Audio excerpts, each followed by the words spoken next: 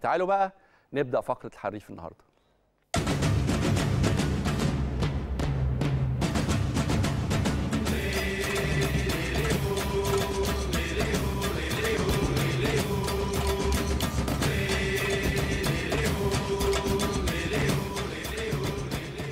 إحنا متفقين طبعا إنه آه، المهاجمين دايما ويمكن صناع اللعب هم الاكثر قدرة على يعني اسعاد الجمهور. ده ما يعني مش ممكن ابدا ينفي أهمية بقية الأدوار. يعني كل اللعيبة أو كل مراكز ليها أهميتها وليها آه، بصماتها وفي نجوم كبار جدا جدا وأسماء عظيمة جدا بجد يعني بدون مبالغة لعبت فيها.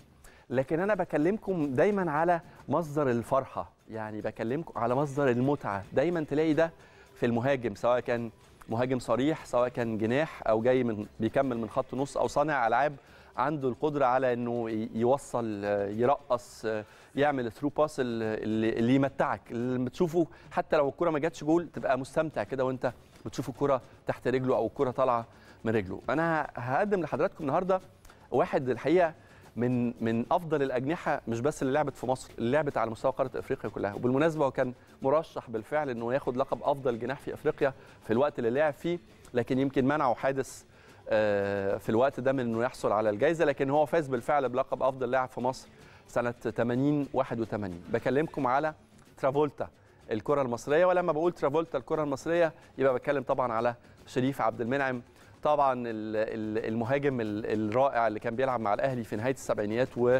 الت- والثمانينات وحقق مع النادي الأهلي بطولات كتيرة جدا دوري أبطال أبطال كؤوس طبعا دوري مصري وكأس مصري. وتعالوا نشوف معاكم كده آه، أخبار مشواره وبطولاته مع النادي الأهلي اللي حققها إيه ونرجع نستمتع بلقطات كابتن شريف عبد المنعم في الملعب.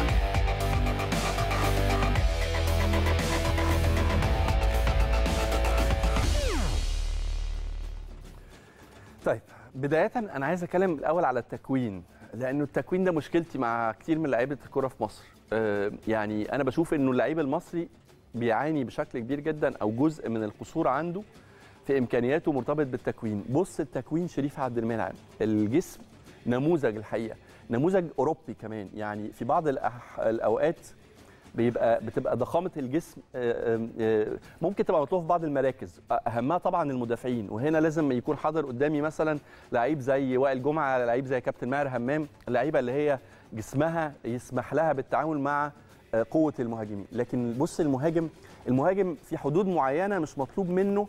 طبعا لمسات شريف عبد المنعم جوه منطقة الجزاء أنا لو كنت بتفرج في الوقت ده وكان ليا حظ يعني أنا ألعب في التوقيت ده آه، أو يعني أعلق في التوقيت ده على كابتن شريف وهو في الملعب كنت أقول عليه إنه آه، المطرقة.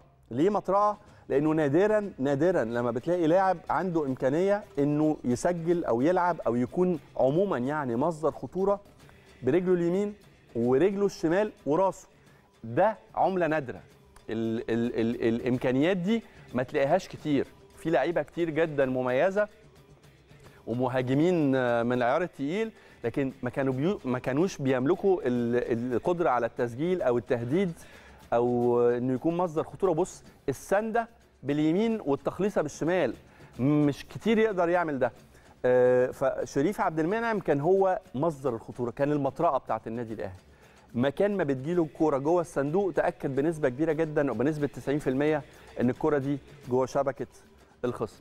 أوقات كتيرة جدا زي ما أنتم شايفين طبعا آه، ده, ده دي مباراة أهلي وإسماعيلي في في الإسماعيلية. وطبعا ده كان زمان طبعا كان ديربي كبير جدا واحدة من الماتشات اللي بتستناها الناس في مواسم كتيرة جدا.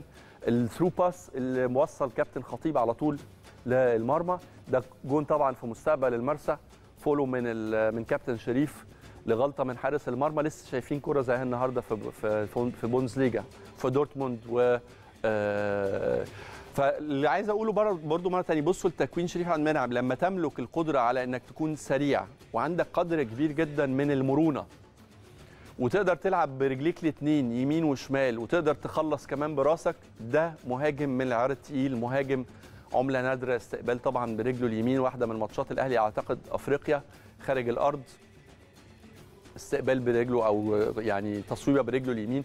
في المرمى. فده اللي بقوله على شريف عبد المنعم واحد من أفضل الأجنحة سرعة مع مرونه بص ال sprint من نص الملعب وتخليصة برده من نص الملعب. يعني السهل الممتنع زي ما بيقولوا. في ناس كتيرة جدا لما goalkeeper بيطلع عليهم في حتة زي دي بيفكر إنه وسهل قوي الترقيصة هنا على الواسع لكن شريف حطها على طول.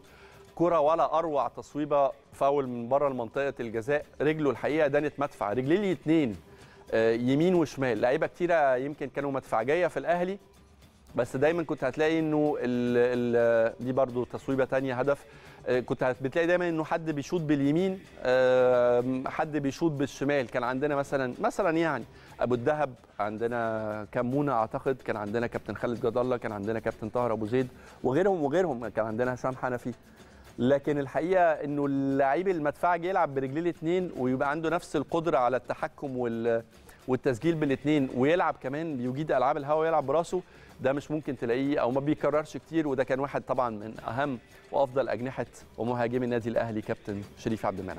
هطلب منكم من مجموعة الأهداف دي تختاروا أفضل هدف من وجهة نظركم طبعا والأسبوع الجاي إن شاء الله حلقة السبت والحريف نقول جماهير النادي الأهلي اختارت إيه كأفضل هدف لشريف عبد المنعم في مشواره.